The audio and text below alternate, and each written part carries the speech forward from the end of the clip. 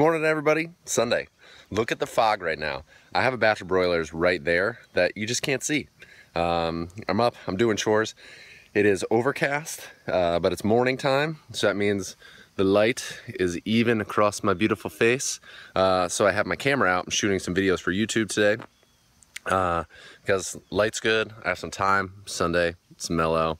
Uh, woke up early, had way too much coffee already. I got something on my fingers that is just dyed my fingers in a poopy color. Uh, so that's fun too. It just hasn't gone away. Um, but yeah, thought you might enjoy how misty it is. Even on camera, like it, it, you just can't quite grasp how much you can't see with how moist and humid it is right now. It's like 100% humidity. You know, we're just one shy step away from rain. Hope you enjoy your Sunday. That's it. Take it easy. Have some coffee. Talk to you guys soon. See this? Kent Falls Brewing Company. Uh, the brewing company that is part of the farm, the farm is part of the brewing company. We do a lot of things sourced locally, and as locally as possible, we source things from our own farm. One of those things, mmm, sumac. This is staghorn sumac, not to be confused with uh, the itchy, burny sumac that gives you like poison ivy rashes. This has a great lemony, strawberry, fruity, citrusy flavor to it. It's awesome. And uh, we got a bunch of it on the property. So I've never used it before. Uh, the brewery's never used it before. I've never harvested it before. I took a couple hours, invested a few hours today harvesting a whole bunch. Uh, and then you take the berries, which you can kind of see, zinga, uh, off of the stem and uh, take the stem out because it puts bad flavors in the beer and you want all the good flavors. Then we're going to use this in a beer going forward I'm very excited about it. That's if I can get enough. We'll see. What up? I'm out watering chickens, doing my morning chores, thinking about, you know, it's middle, mid to late September, and uh, season's starting to wrap up, getting some numbers in. Uh, final harvests are coming in, things are shutting down for the season.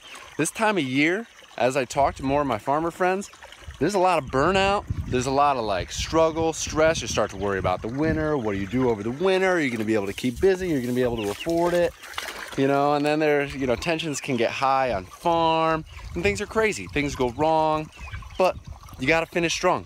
You got to be, uh, you got to be persistent. You got to be diligent.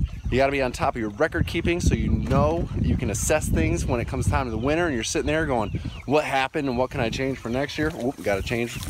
And then, uh, you know, keep that smile on your face. Keep it going. Keep those birds going. Keep farming. You're growing food for people. It's a beautiful thing. If you're not a farmer, go hug one. Talk to you soon.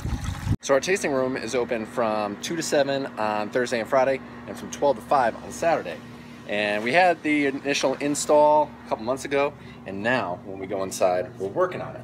Uh, bringing some beer in, we're opening for retail today, stocking our shelves with some harvest. We've rearranged everything, taking the old signs down from the fridge and putting in uh, new chalkboard signs so everything matches, rearranging our information wall so we'll have more information about the farm, where the bathrooms are, how to arrive, da da da da, maps, livestock, super good.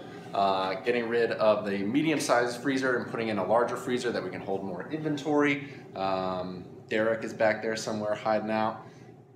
Have our, our price list on our stuff, our point of sale counter uh, is a table for now, but over the next couple weeks, I'm gonna build something that looks more like our bar. I built that from scratch, super fun.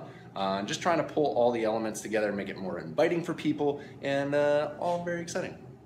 It's Friday. I'm so excited. It's the weekend. You guys got any fun plans for the weekend? Uh, our brewery it just released some new cans, some IPAs and a Pilsner in cans. Pretty amazing. Means it's to be a big weekend. Working all weekend, which is great. Uh, farm store will be open. I just released some new videos on YouTube. And uh, yeah, pretty exciting my YouTube video that just came out, starting a series that's going through the fall and in the winter and into next year. Every Friday, a new piece of the puzzle. Today, we're gonna start with how I almost lost my job a couple years ago and why that was the best thing that ever happened to me. Couldn't be, uh, today's a good day. I don't know, sun's shining, I'm farming. I got some friends on their way to like big organic fairs. Everybody's having a good time. And uh, yeah, just, just big weekend on farm. Hope you guys have an awesome day. Check out that YouTube channel. And until next time, I'll see you on the Instagram.